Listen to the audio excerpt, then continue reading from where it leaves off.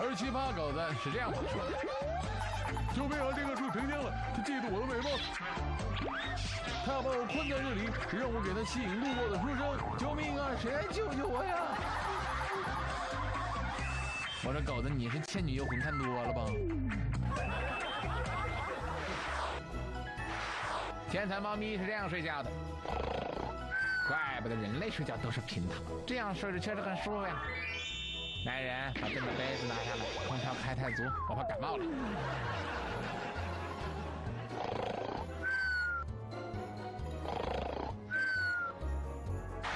而奇葩狗子却是这样睡觉的。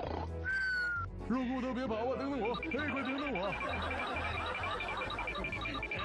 怎么越叫你越跑呢？放心，我保证不吃你。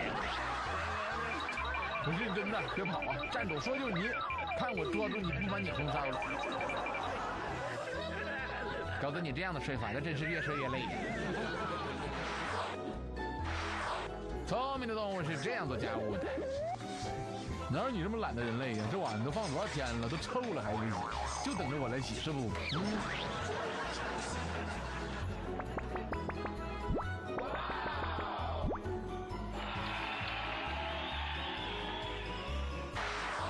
而奇葩猫咪却是这样洗碗的。